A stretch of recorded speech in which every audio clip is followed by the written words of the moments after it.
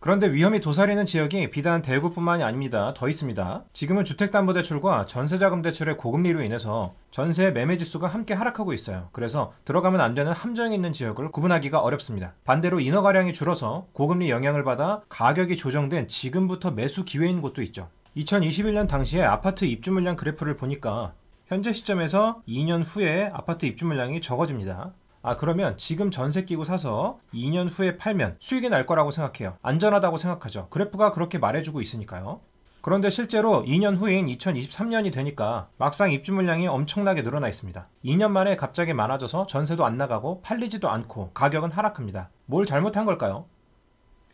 아파트나 주택을 투자할 때 입주 물량 분석의 중요성은 많은 분께서 알고 있습니다. 이 수요량의 변화에 비해서 공급량의 변화폭이 훨씬 더 크기 때문이죠. 공급 물량의 대표 격인 아파트 입주 물량 분석은 이미 보편화되어 있어서 사설 홈페이지에서 쉽게 찾아볼 수가 있고요. 그 중요성은 말할 필요가 없습니다. 이 빨간 수요선보다 공급량이 많으면 하락이 나왔죠. 비슷하거나 적으면 가격이 상승하죠. 간단하지만 정확도가 높은 분석 방법입니다. 오늘 말씀드릴 건 입주 물량이 중요하지 않다 이런 말이 아니라 너무 중요하기 때문에 적어질지 늘어날지 신경을 미리 써야 한다는 말입니다.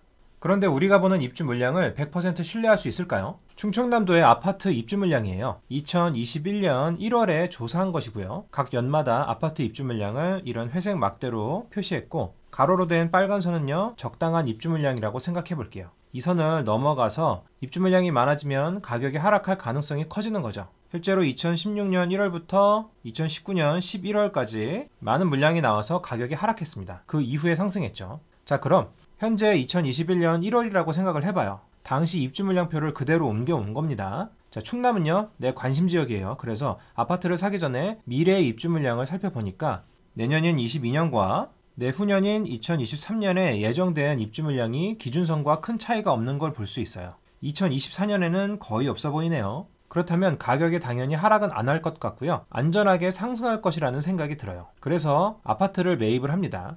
입주 물량표를 보면 잘못한 게 없죠. 이건 같은 충남 아파트 입주 물량을요, 2023년 2월에 조사한 것입니다. 자, 어떠세요? 앞장과 비교를 한번 해보세요. 어디가 많이 바뀌었죠? 이 부분이죠. 자, 2년 전에 조사했을 때는 22, 23, 24년도에 입주 물량이 적었죠. 그런데 이상하게 엄청나게 많은 수로 증가한 것입니다. 이게 왜 그럴까요? 입주 물량이 2년 만에 갑자기 뻥튀기가 됐는데요. 21년에 샀다가 전세 한 바퀴 돌리고 2년 후에 팔려고 보니까 입주 물량이 너무 많으니까 원하는 값에 팔 수가 없는 지경에 이릅니다. 여기서 팔려면 헐값에 팔던가 억지로 한 바퀴를 더 돌려야 하죠. 입주 물량표를 너무 믿었다가 투자 실패하게 된 사례입니다. 이런 일도 있어요. 2021년 1월에 조사한 광주광역시의 아파트 연도별 입주 물량이에요. 자, 현재 시점에서는 여긴데 2023년, 2024년에 적은 입주 물량이 예정되어 있죠. 충남과 마찬가지로 현재 시점에서 이 입주 물량 표에 의존해 자, 2년 후에 매도하겠다 이렇게 생각하고 충분히 매입할 수 있겠죠. 2023년 3월에 조사한 광주광역시의 입주 물량 표입니다. 자, 현재 시점이 여기고 2023년, 2024년에 2년 전에 조사한 것과 마찬가지로 그렇게 많지 않은 입주 물량이 나왔어요.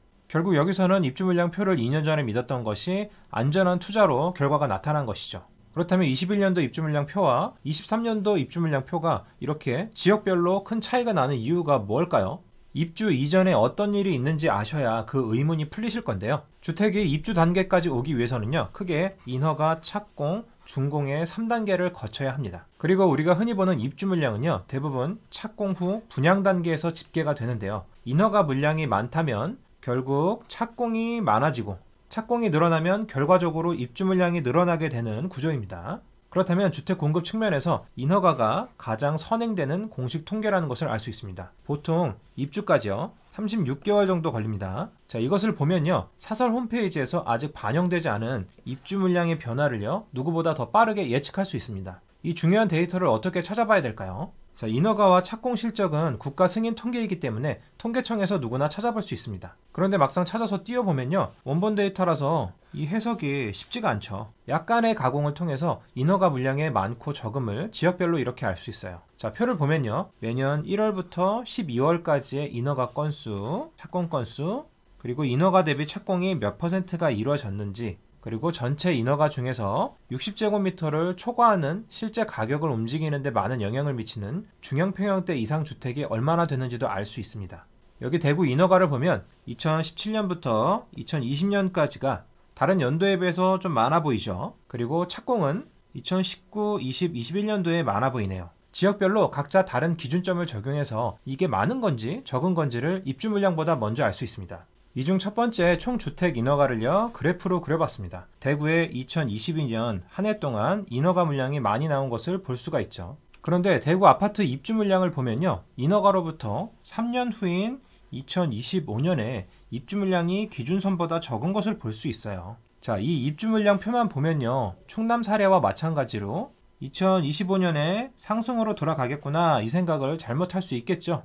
그런데 인허가는 그렇게 말하고 있지 않습니다. 조심하라고 경고등을 켜줬는데 안 보고 넘어가는 분들이 너무 많아요. 이렇게 인허가 상승은요 1번 경고등이 켜진 것을 의미합니다. 또한 인허가만 받고요. 건설사 사정이나 시장 상황에 따라서 착공에 들어가지 않는 물량도 이렇게 있어요. 미착공 물량이라고 하는데요. 추후에 취소되는 예도 있지만요. 사정이 좋아졌을 때 이런 것들을 계속 모아서 한꺼번에 착공에 들어가는 수도 있습니다. 인허가가 적은 상태에서도 미착공 물량이 이렇게 많다면요. 갑작스럽게 입주 물량이 증가되죠. 대구에서 2015년부터 2018년까지 미착공 물량을 이렇게 모으고 있는 것을 볼 수 있어요. 예컨대 2017년 기준으로 31,378호 인허가를 많이 받았는데 착공, 그러니까 공사 시작한 것은 12,000호 정도밖에 안 돼요. 40%만 착공에 들어간 거죠. 무려 18,896호나 되는 수가 대기 상태입니다. 공사를 시작 안 하고요. 자, 출발선에 기름을 다 채우고 정비가 끝난 이런 경주용 차들이요. 시동 걸고 엑셀만 안 밟고 대기하는 상태입니다. 이런 차들이 18,000호가 넘어요. 부릉부릉 하고 있다가 특정 신호만 보면 바로 출발이 가능합니다. 그래서 입주 물량이 갑자기 늘어나게 되죠. 인허가가 늘어난 것이 1차 경고 신호였고요. 2차 공 물량이 늘어난 것이 2차 경고 신호입니다. 2016년부터 18년까지 공사를 안 하고 미뤄뒀던 이 미착공 물량과 2019년, 20년에 인허가 물량이 합쳐져서 2019, 21년까지요 많은 착공으로 나타납니다. 자, 착공이 많아진다는 것은 공사를 많이 했으니까 과도한 입주 물량에 대한 3차 경고 등, 즉 마지막 경고 신호입니다. 통계청에서 이렇게 마지막으로 신호를 보내준 거예요. 대구는 세 번에 걸쳐서 신호를 보내줬는데 눈치 못 채고 매입하는 분들이 굉장히 많았습니다. 여기서 2019년부터 21년까지 많았던 이 착공 물량은요. 이게 아파트 입주 물량 표인데요. 공사 기간을 거쳐서 22, 23, 24년도에 많은 입주 물량으로 나타나게 되는 것입니다. 자, 최고 많은 입주 물량이 터졌고요. 들어갔던 많은 분들이 손해를 입었죠. 인허가, 미착공, 착공에 대한 개념을 알고 계셨다면 입주 물량이 이렇게 늘어날 것에 대한 대비를 미리 할 수 있었겠죠. 그래서 저는 2021년 6월과 대구가 규제 지역에서 해제됐던 2022년 8월에 이렇게 두 차례에 걸쳐서 입주 물량뿐 아니라 인허가 물량이 많기 때문에 아직 진입할 때가 아니다 이렇게 공개 영상을 만들어서 유튜브에 올렸습니다. 그럼에도 진입하시는 분들이 계셨고요. 현재는 많은 후회를 하고 계시죠. 그런데 현재 시점에서요. 대구 입주 물량은 2025년, 26년에 많이 줄어드는 걸로 나옵니다.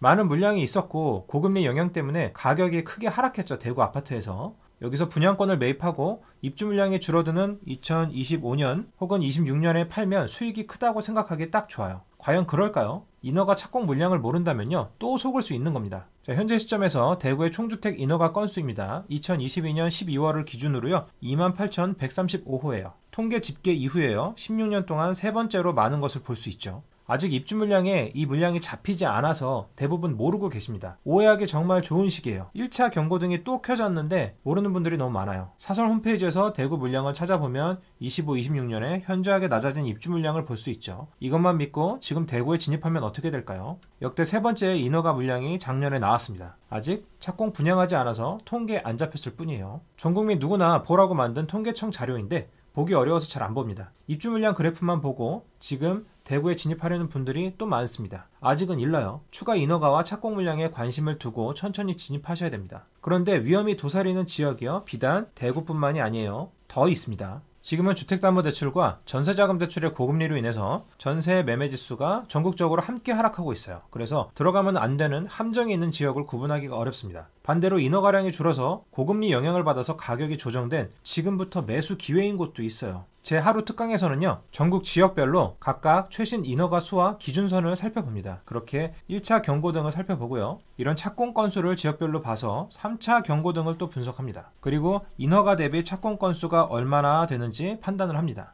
인허가 받고 사정상 착공에 들어가지 않은 미착공 건수를요, 이렇게 수치화해서 숨어있는 2차 경고 등까지 살펴봅니다. 그리고 총 인허가 중 전용 60제곱미터를 초과한 건수도 따로 살펴보고요. 이를 통해서 아직은 정확하지 않은 2025년 물량이요, 얼마나 늘어날 가능성이 있는지 지역별로 가상 입주표를 그려봅니다. 자, 그리고 이렇게 정리를 해드렸는데요. 오른쪽에 빨간 신호등이 보이시죠? 이 요인들을 종합해서 지금 들어가면 위험한 지역에 대해서 알려드리고 언제쯤 관심을 가지셔야 하는지 그리고 분기별 입주 물량을 통해서 언제 탈출할 수 있는 기회가 오는지까지도 알려드립니다. 반대로 지금은 고금리에 눌려서 안 보이지만 유망한 지역들도 있어요. 초록색 불이죠. 언제 매입하는 것이 최선의 선택일지까지도 자세하게 알려드립니다. 그리고 인구 밀도가 낮고 넓게 퍼져 있는 광역시가 아닌 도지역 있잖아요. 이런 지역들은 인허가가 어느 시군에서 많이 나온 건지도 판단해 드립니다. 좁혀 드리는 거죠. 이 수업을 들으시면요. 신빙성 있는 데이터를 통해서